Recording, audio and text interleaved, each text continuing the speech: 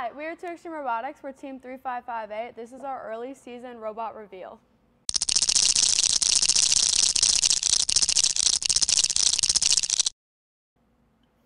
Okay, our intake um, is running at 16.5 watts here and here.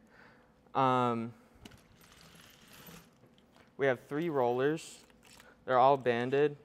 Uh, we decided this was just a lot faster than the chain or flex wheels uh, that we saw. We also have this hood here, which can pivot. This is for indexing out the back. We can also have it in the middle here for um, holding the balls in place. And we also have this one where obviously it just scores. These two, these uh, rollers here, these, these are separate. That's so that we can shoot it at the middle for that middle goal. Uh, we have this aligner here. This aligner is for the middle goal. It's also for the match loaders with this little cutout and the top goal. These little corners in here, that just aligns with the metal part of that top goal. Uh, and that helps us a lot in driver control because we don't have to spend as much time lining up. Uh, we also have this traction mat here. This goes all the way up. That's so that the balls can roll rather than just sliding and that makes it go up a lot faster and uh, more consistently. This is secured by standoffs and stuff and this is all basically just one continuous sheet of polycarb here running up. That's an aligner so that we can get it out the back consistently. All right, to start off uh, with our drive chain, this is running 55 watts. Uh, we did this because like we needed some more motors for the other aspects of our robot. Um, but we actually found that that was not the best because it didn't have very much torque and that really limited our um, scoring capabilities.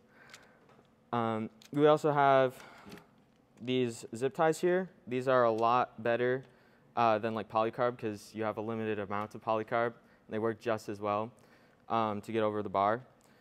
Uh, one thing that was kind of challenging uh, to do to get over the bar was our ODOM. We really wanted this for accurate uh, autonomous, but the vertical one here um, and the horizontal one, they don't have that good suspension that you need to get over the bar because we just don't have enough space here.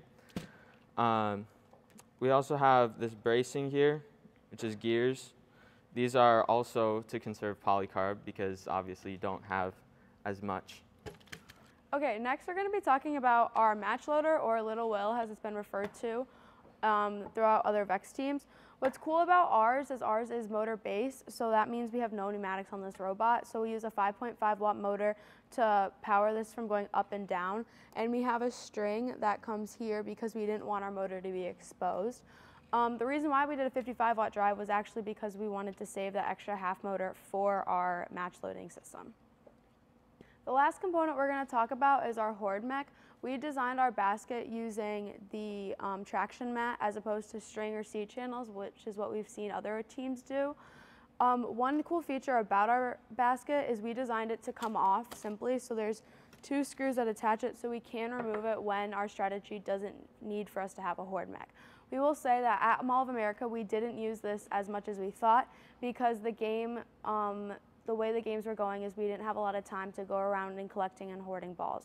So in our future designs, we're going to look on either making this smaller or incorporating it in a different way. Thank you for watching our video. If you have any additional questions about this robot or anything else we've done this season, please leave a comment down below and we'll make sure to respond or reach out to us on Instagram at 2Xstream Robotics.